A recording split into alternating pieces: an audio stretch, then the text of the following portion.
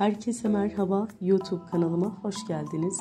Bugün sizlere oldukça basit olan ve lezzetine doyamayacağınız irmik tatlısı tarifim var.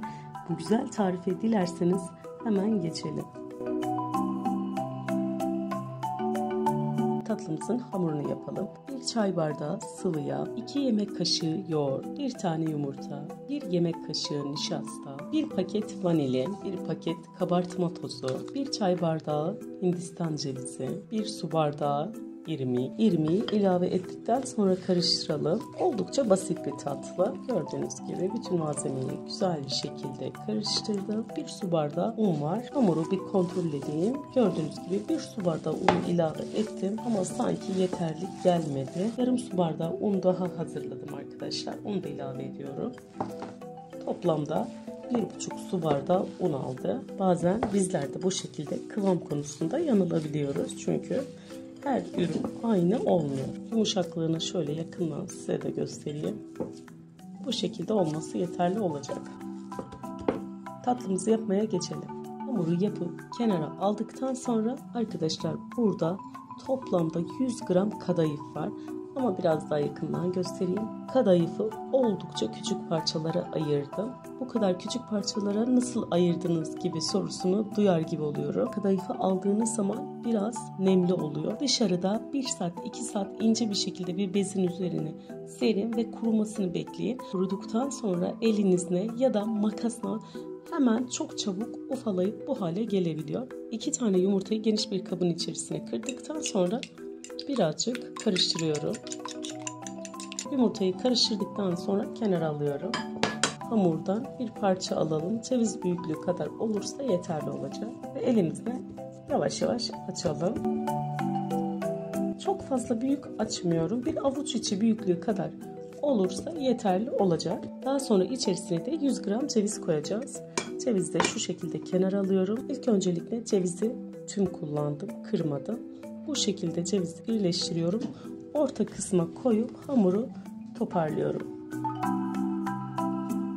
Bu şekilde toparlayıp yuvarlayacağım.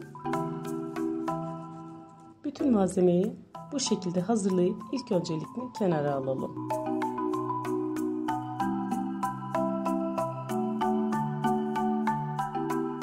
tatlıları yapıp kenara alıyorum. Tatlıyı içerisine cevizi koyduktan sonra yumurtaya güzel bir şekilde her tarafa gelecek şekilde buluyorum. Kadayıfın içerisine koyup etrafını iyice kadayıfına sarıyorum. İrmik tatlım inanın ki çok güzel oldu. Bu güzel tatlımı sizlerle de paylaşmak istedim. Bu şekilde irmikli kadayıf tatlımızı hazırlayalım. Aynı şekilde bir tane daha göstermek istiyorum. Yumurtaya buluyorum. Kadayıfa iyice buluyorum. Her tarafa kadayıfın yapışana kadar bulamayı bırakmayın. Gördüğünüz gibi gayet güzel ve lezzetli bir tatlı olacak arkadaşlar. İrmikli kadayıflı tatlılarımı yağlanmış fırın tepsisine diziyorum. Tatlıları fırın tepsisine dizdikten sonra 200 derece fırında kadayıfları kızarana kadar pişirelim. Tatlının şerbeti için 3 su bardağı şeker kullandım. Şimdi de 4 su bardağı su ilave ediyorum. İçerisine bir dilim limon ilave ettikten sonra ocağa koyup kaynatmaya geçiyorum. Toplamda kaynara geldikten sonra 7 dakika kaynaması yeterli olacak. İrmikli kadayıflı tatlım fırından çıktı. Hala tatlım sıcak. Şerbeti de ılık dökeceğim üzerine.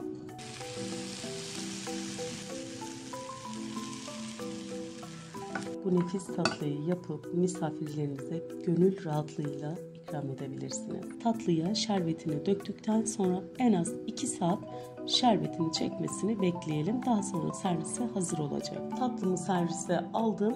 Şerbetini gayet güzel bir şekilde çekti. Şimdi iç dokusunu da size yakından göstermek istiyorum. Ortadan ikiye böldüm. Tatlımı şu şekilde göstermek istiyorum şu şekilde yakında da göstereyim. Siz de tarifimin tüm detaylarını dikkat ettiğiniz süreçte aynı güzel sonucu elde edeceksiniz. Yine güzel bir tarifimin sonuna geldik. Beni izlediğiniz için hepinize çok teşekkür ediyorum. Başka bir tarifte görüşmek üzere. Hoşçakalın.